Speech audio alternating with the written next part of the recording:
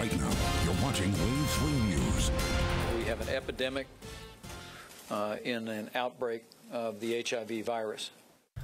An outbreak in Indiana with 72 new HIV positive cases and seven more suspected. Indiana Governor Mike Pence declaring a public health emergency in Scott County. Thanks for joining us. I'm Shannon Cogan. And I'm Scott Reynolds. Just this afternoon, state leaders met with local officials who have been on the ground fighting that outbreak. Wave 3 News reporter Janelle McDonald joining us now. And Janelle, what do they plan to do about it? Well, Governor Pence will make that executive order tomorrow morning, flooding Scott County with more tools and more resources to stop the outbreak before it spreads further. To anyone in the sound of my voice who is involved in intravenous drug use, stop.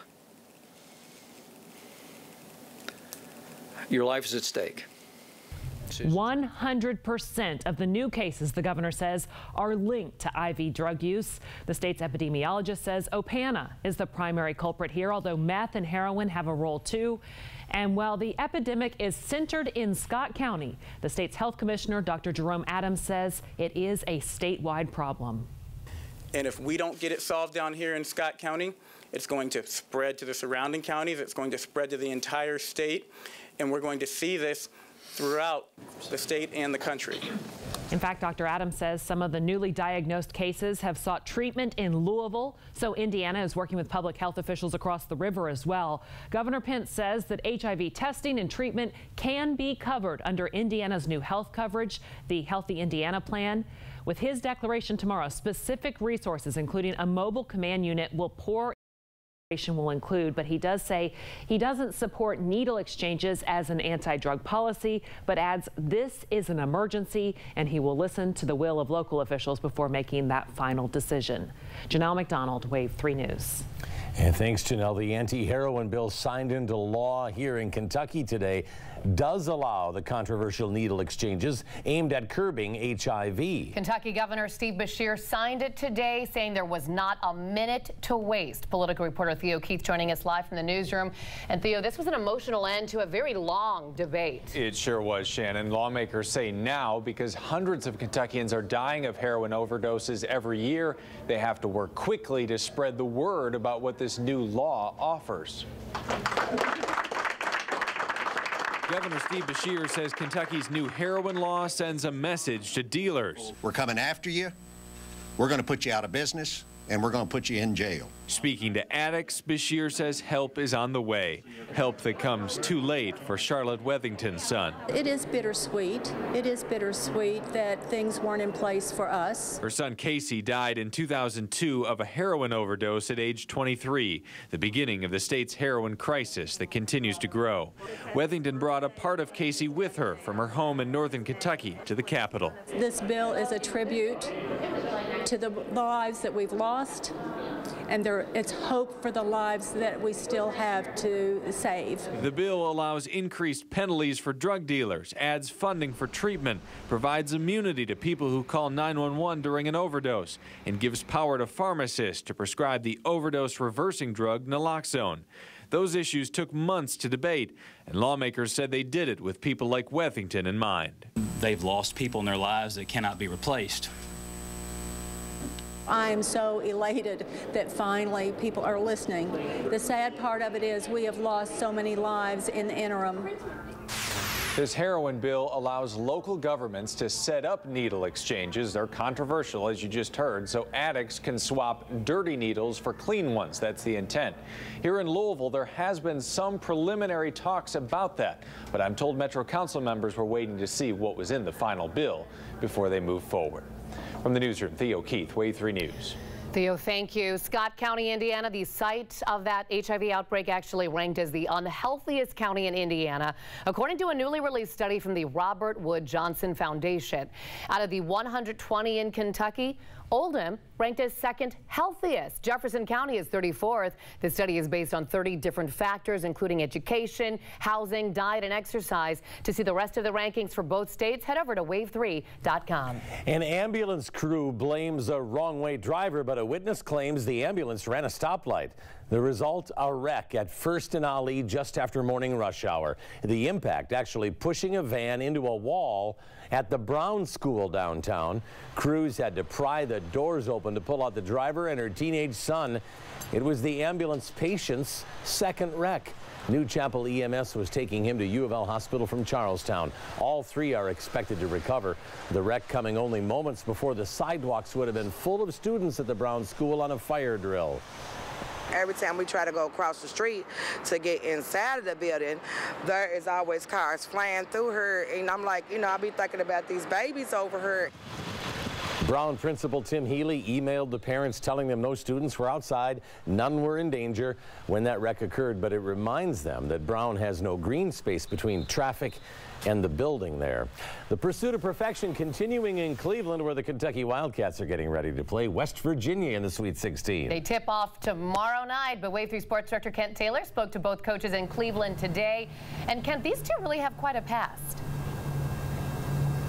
Yeah, Shannon, they do. They're, they're two heavyweights of the coaching profession combined. They've won around 1,400 games, taking teams to seven Final Fours, and of course, John Calipari's national championship with Kentucky in 2012. John Calipari in Kentucky against Bob Huggins and West Virginia. And of course, they have history in that they've also played 10 times as head coaches. And surprisingly, Bob Huggins has won eight of those 10 meetings he and I used to be the young coaches. We were the young guys. And we turn around and now we're the old guys. I don't understand that, what happened, but that's what happened. Um, and I've always respected what he does, coaching his basketball teams, how hard they play, how physical they play, um, how they rebound. There's, there's almost like things that you'll see, and you'll say, that's his team. You know, somebody asked me what separates Cal from other coaches, I, and, and, and Cal and I have gone to Europe together and, and done a bunch of things. I said, well, most most other basketball coaches aren't uh, get on a plane and read uh, U.S. News and World Report or uh, Money Magazine or you know those kind of things. And Cal's Cal is a, a very diverse guy. So that's the key. Start reading Money Magazine. Of course, Calipari also has really good players. He had five NBA first round draft picks on his team in 2010, and Huggins and West Virginia beat the Cats. You remember that back in 2010 in Syracuse. But the Cats' heavy favorites here as they try to get to 37 0 and continue their pursuit of perfection. Tip off around 10 o'clock, maybe just a little before, here at Quicken Loans Arena in Cleveland on Thursday night. Guys? Yeah, and Kent, you might want to share Money Magazine with the players because six or seven are going to be making a lot of money next year in the NBA. Yeah, they're going to need it. You're right. All right. Kent Taylor live in Cleveland. Don't forget, our Kendrick Haskins is in Syracuse with the cards. His report starting tonight at 11. You can tweet us your cards and cats photos all tournament long with the hashtags Wave 3 cards and Wave 3 cats. So pretty simple to do just that. Yeah, and I bet a lot of coaches will start reading Money Magazine just thinking if that is what's working for him, they're going to try it. Well, if you did not get outside today, just run outside right now do something on the grill because it is just beautiful out there. Yeah, and your hours are numbered right now. Yeah. Chief Meteorologist Kevin Harned live in the backyard. And Kevin, you're telling us the warm weather, well, the clock is ticking. Yeah, and that's why during uh, every time I'm not in the studio, I'm out here like, oh man, what a day. When will we see this weather last more than just a couple of days in a row? Uh, it's going to be a while. In fact, we're going back into the deep freeze. Temperatures in the 20s by the weekend. Ah, here's our view from the Kentucky One Skytrack camera. It sets atop the Sheraton. You can see the new bridge making progress in the distance there. Uh, of course, that's the Kennedy Bridge in the foreground and bright blue sky across the area. Let me show you the temperatures from around the region. You'll note that we are in the mid 70s now at 75 degrees, 60s off to our north. As far as cloud cover is concerned, not a lot of it around here yet. That will be changing, as you can see on a wider view, showers and thunderstorms, even a couple of tornado warnings back out to our west in parts of Oklahoma, northern Arkansas. While I don't think we have a whole lot to worry about when it comes to severe weather, we will see some gusty winds and we will see thunderstorms increasing, but not until after midnight. And that means a pretty nice evening despite the gusty winds. Temperatures falling through the 50s and going down, or falling through the 60s, I should say, going into the 50s overnight tonight. 40s by tomorrow. Had a chance to post on Facebook just a few minutes ago. How are folks enjoying the nice evening? David and Sarah said they're going for a nice family walk, and Eric said he mowed the lawn for the first time today. I'm good with just standing out here. Wow, mowing the lawn. I haven't even thought about that yet. How much about you? fertilizer did he put on this winter? Oh my That's goodness. a good question. One All of right. those neighbors. Yeah, Yes. thanks. Indiana schools getting the green light to charge your kids for riding the big yellow bus. You're watching Wave 3 News at 6, always streaming live on wave3.com, where you can find out where Kentucky and U of L fans stand on the list of basketball's rowdiest crowds. Listen to this. You might have to put down some cash to get your children on a bus to school in Indiana. A Supreme Court ruling there saying public schools are not required to provide students transportation to and from school. The ruling stemming from a case with the Franklin Township Community School Corporation that was back in 2011. The district was strapped for cash, so it hired a private company that actually charged parents for transportation. The court ruled that was okay because it did not violate any state laws. New tonight at 11. It was an accident that made many think of how fragile life is. The victim, just 24 years old, walking to her downtown office. That's when a concrete truck hit and killed Ryan Tuel while turning from Main onto 2nd Street. This happened last June. Then six months later, another fatal accident in downtown Louisville when another concrete truck from the same company, according to police reports, Advanced Ready Mix Concrete, was turning onto Broadway. I sat down with the parents of Ryan Toole who say there should be accountability for these accidents. I mean, if we don't pursue this, nobody is. We're her voice at this point. We invite you to join us tonight at 11. More of my interview with Ryan's parents, what they think should have happened to the driver involved in their daughter's accident, and also how common these types of accidents are. Well, he finished his degree but died in a crash before he could walk across the stage. One year later, one U of L student's loved ones are finally getting his diploma. And a live look outside. What a beautiful evening it is in Kentuckiana.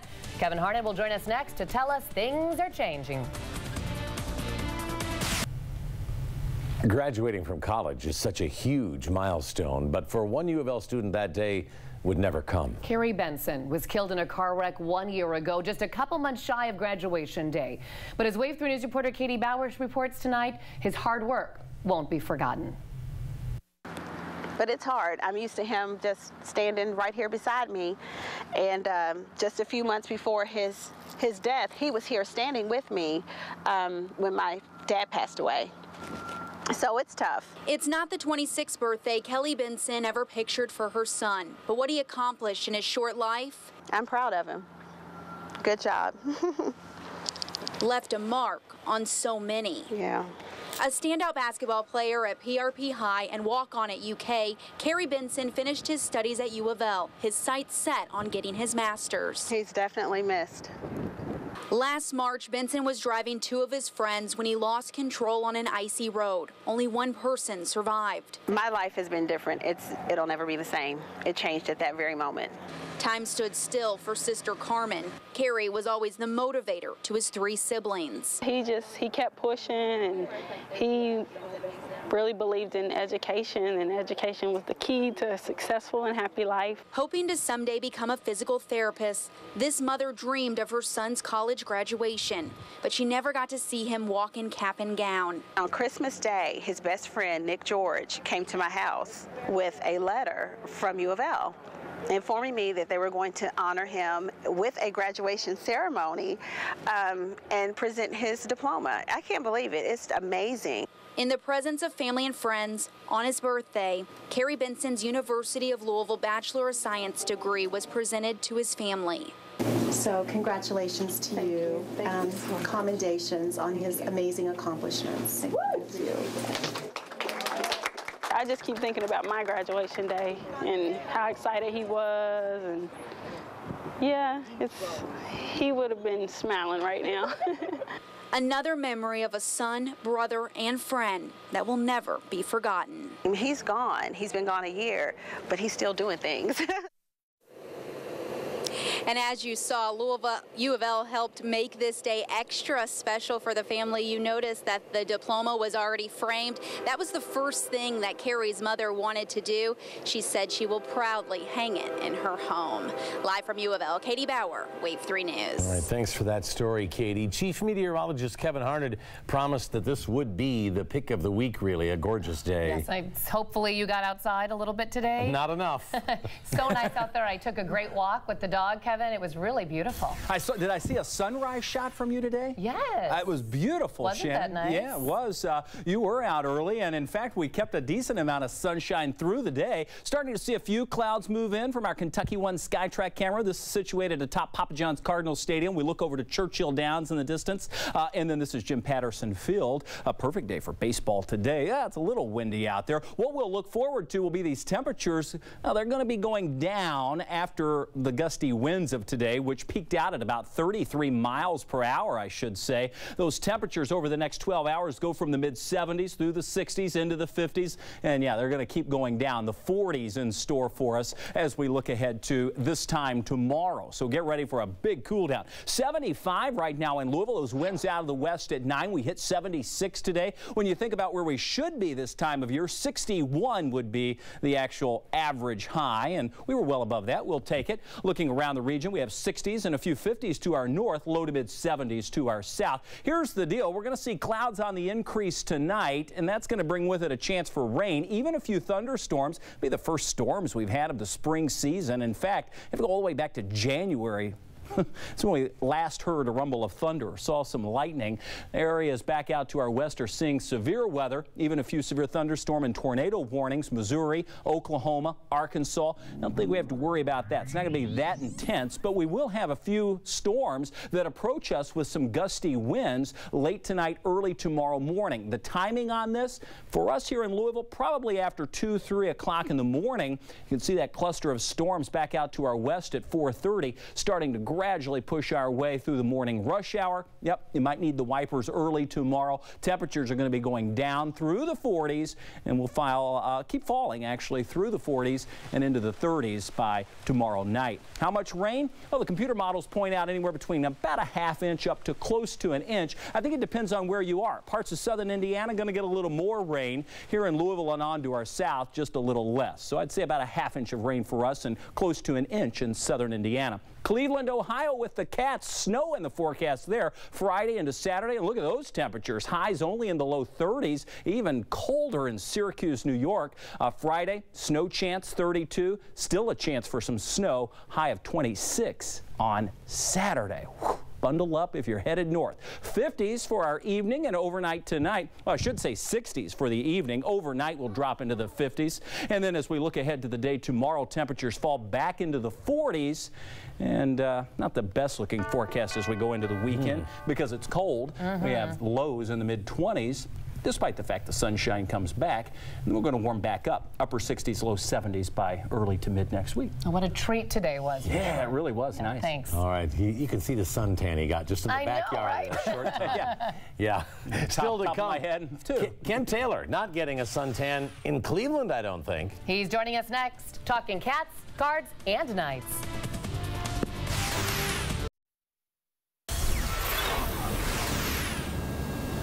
Back here live in Cleveland, Ohio, downtown, right outside of Quicken Loans Arena, where on Thursday night around 9:45, Kentucky, the top seed in the Midwest region, will meet West Virginia, the number five seed, with a spot in the Elite Eight on the line. Now, the Cats had an open practice inside Quicken Loans Arena this afternoon, and we also had a chance to talk to them, especially about what some of the West Virginia players have been saying. Daxter Miles Jr. says that Kentucky's 36-0 start is impressive, but that after the game tomorrow night, they'll be 36 and 1 because they won't be able to handle the Mountaineers' pressure. They do force 20 turnovers a game. Because you going by pressuring us, you're going to bring out the best of us.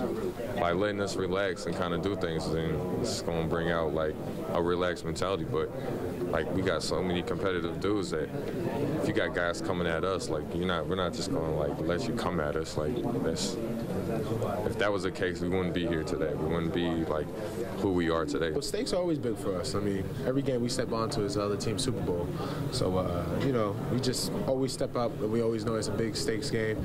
But uh, Sweet 16, you know, it's just just telling us to stay mentally sharp, just stay focused. You know, I think we all have an idea now what how big this uh, tournament really is, especially as freshmen. So uh, just taking it step by step. Now, I, while I'm in Cleveland with the Cats, our Kendrick Haskins has arrived in Syracuse, New York, covering the U of L men who will play on Friday night against NC State, and the U of L women who will face, uh, who will play against Dayton in Albany on Saturday afternoon. He'll be at both games. You know, we're, we're in a good place right now. Uh, we're not satisfied by no means. We understand that you know, you get to the Sweet 16, like I've told our kids, you know, when I first took the job here, if you can get to the Sweet 16, anything can happen. Jeff Walz has gotten the cards to two national championship games, so don't bet against him. Now, the Bellarmine Knights in action tonight in the Elite Eight Division II style are Brian Winters in Evansville. It's been four years since the Knights won the national title back in 2011. The only person still a part of this team from that title run is head coach Scotty Davenport.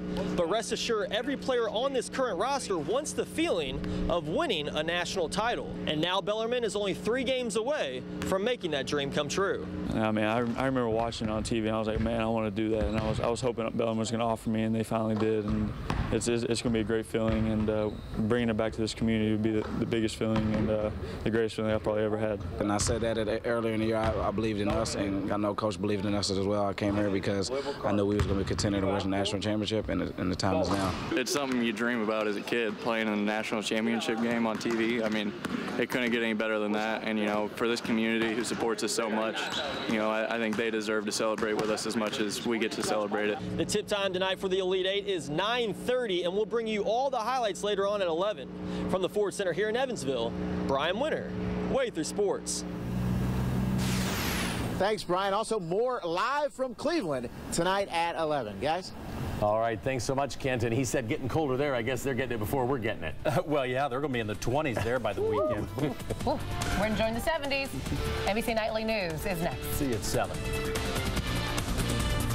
Now, with Wave3.com and the Wave 3 News mobile app, you always have breaking news and breaking weather right where you are. Brought to you by the Kentucky Lottery, fueling imagination, funding education.